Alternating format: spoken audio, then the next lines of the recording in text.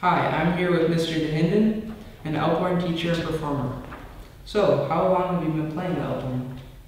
Well, um, I was maybe about 17 um, after playing, say, uh, seven or eight years of the trombone. Um, that I simply loved this instrument for some reason, and uh, I saw I got the chance to to try it out. I forgot the person who it was, however, um, I just liked it very much. So there you go. Cool. Um, when did you start teaching the Alphorn? Well, um, I did my studies abroad, so not in Switzerland, in different countries of uh, Europe and in the US. And when I came back, I was looking for a teaching position, an interesting teaching position.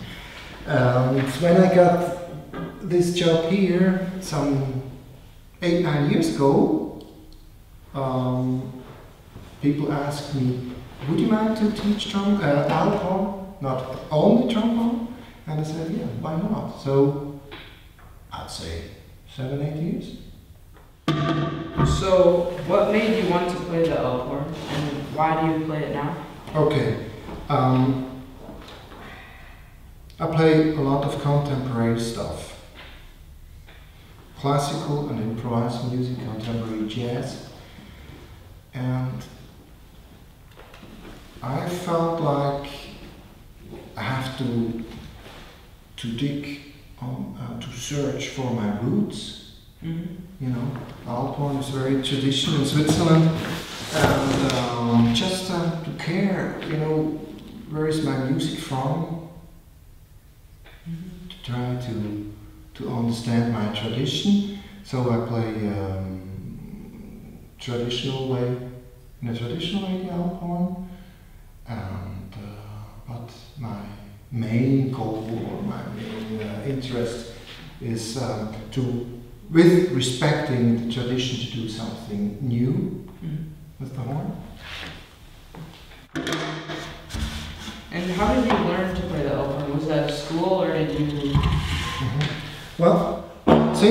Very uh, similar to the trombone, as you know,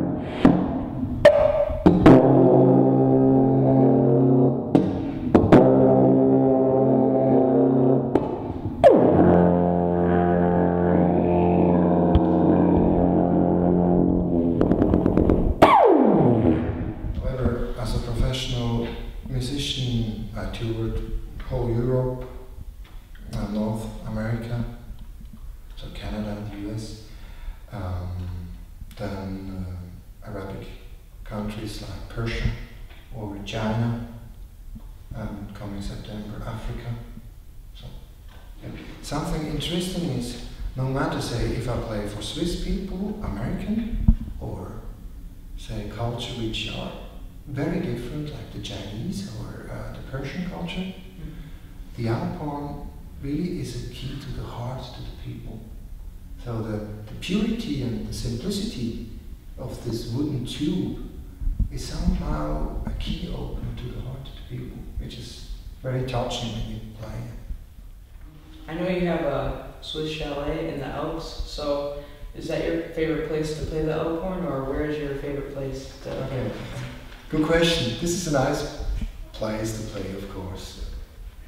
However, there's a particular alpine lake in the Glarnish Alp, this particular part uh, in the Swiss Alps. There is a lake, a small lake, and the lake is surrounded um, with, say, more than half of the lake is surrounded with a rock, a rocky uh, mountain going into the water.